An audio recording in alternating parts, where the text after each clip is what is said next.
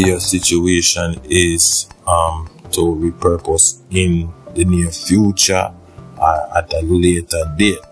Either way, there is something you can take away from this discussion. Now, the previous discussion was about 26 minutes or so.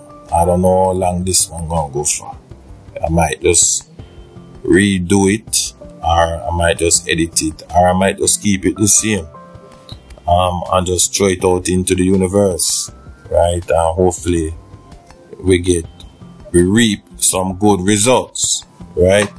Hopefully, we reap some good results, and you know it does well. So we just are gonna take this to the levels it need to be.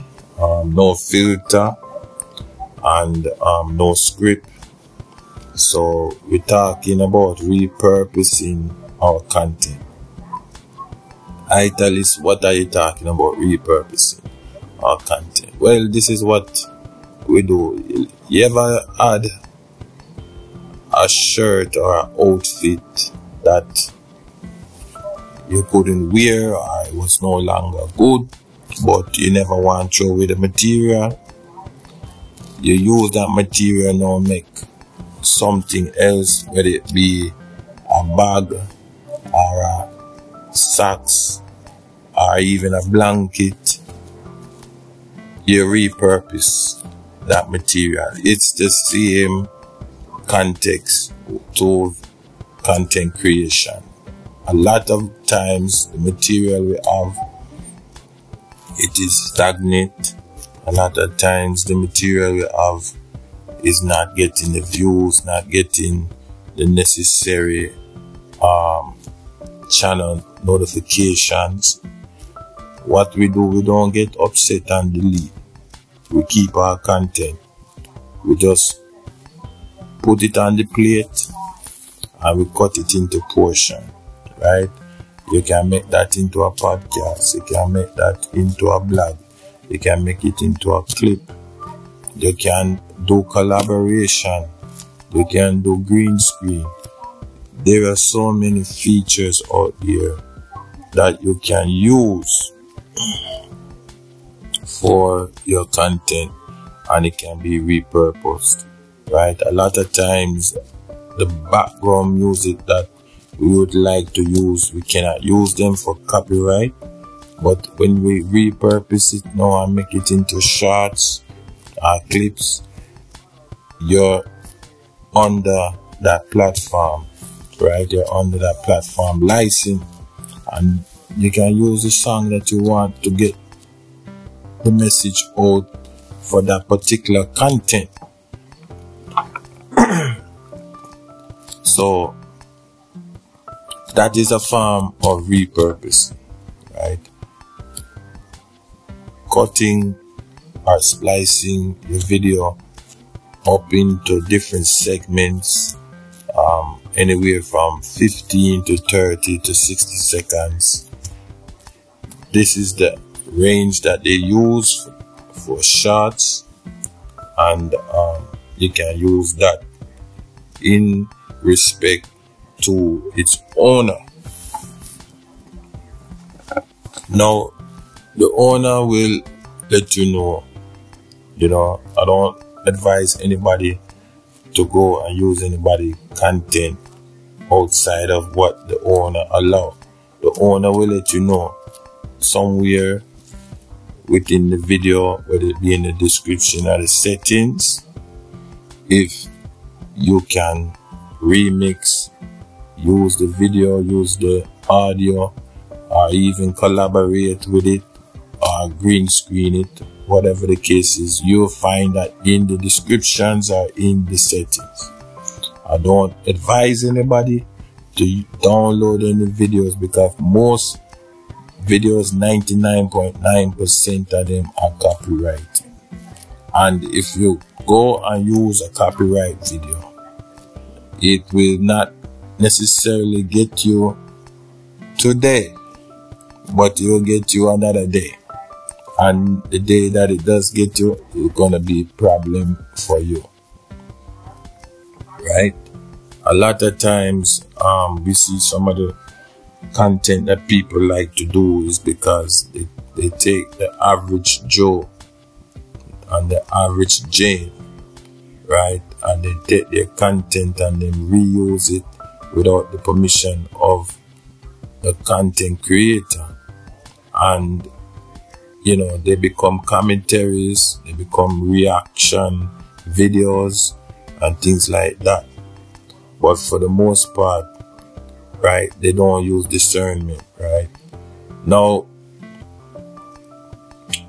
a good way of of not getting a copyright strike is always look at the material, right? Look at the material, the content that is that you wish to use. If it is of high quality, if it is um, from a well-known source, I don't recommend it, right? I don't recommend it. If it is an a person who is basically a content creator, but they understand the business, right? They're not a very well known, but they're known, but they understand the business and they don't have issues with um, things of that nature.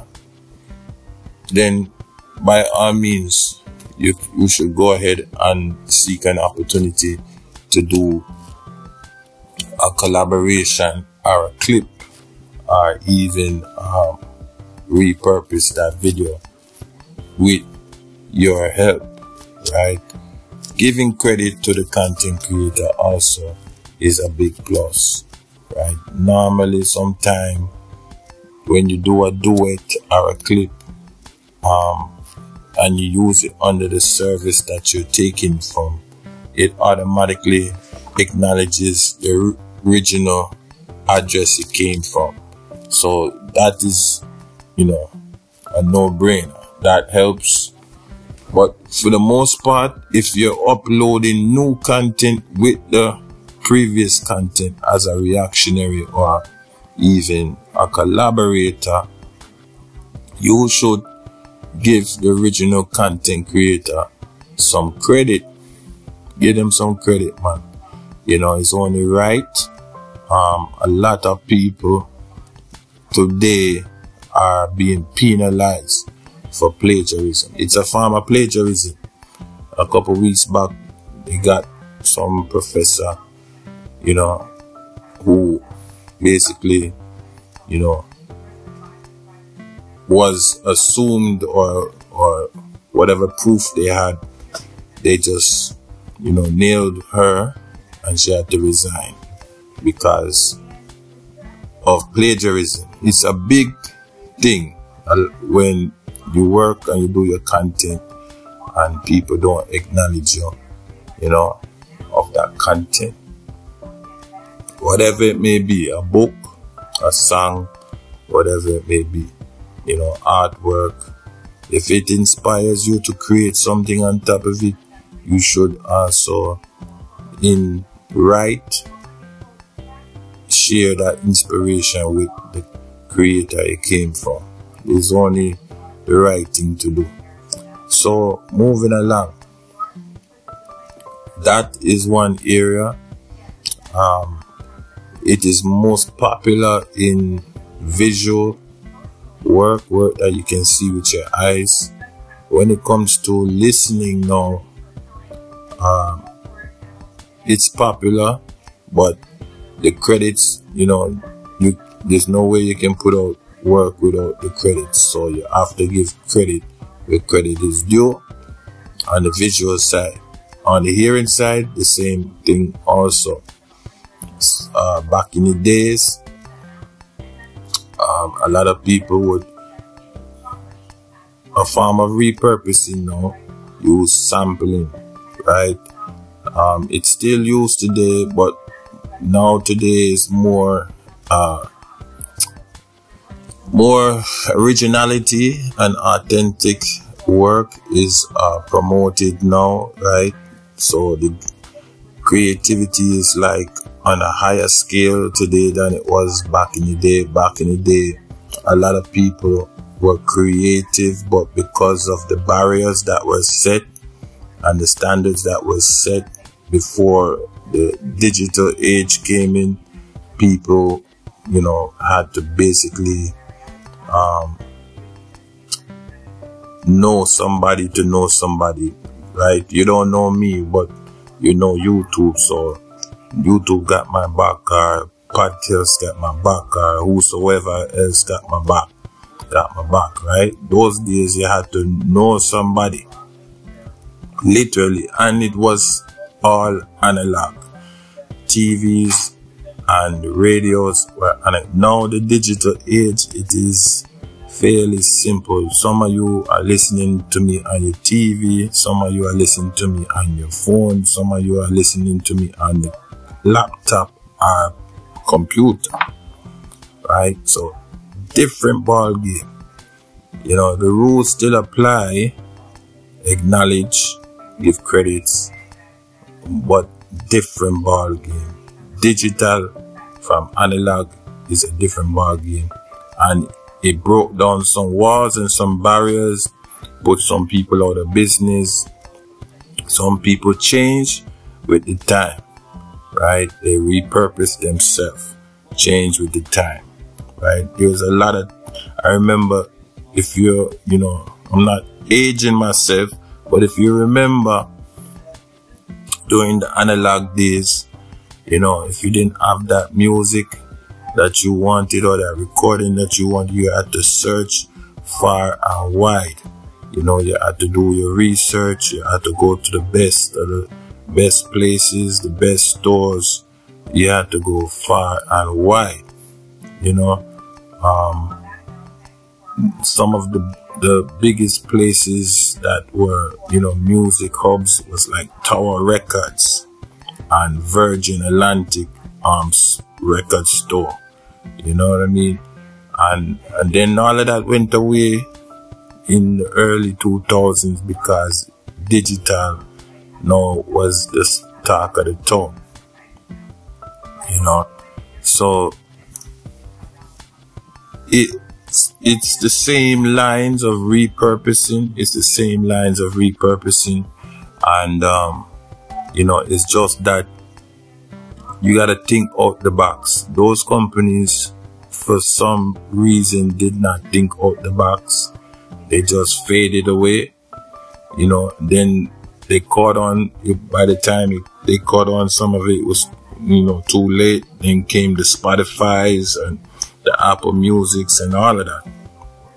When these guys were, were right there, they just said, well, we don't know what to do. They know what to do. They just thought it was a fad and they never changed. So I'm trying to avoid the, you know, anxiety or the fear of changing, right? You have to repurpose yourself, right? You gotta stay in tune with what's going on. You gotta stay alert. You don't want to get caught off guard. You don't want to be, you know, caught with your pants down, as they say, right? And you want to be able to go to the next thing with a smooth transition.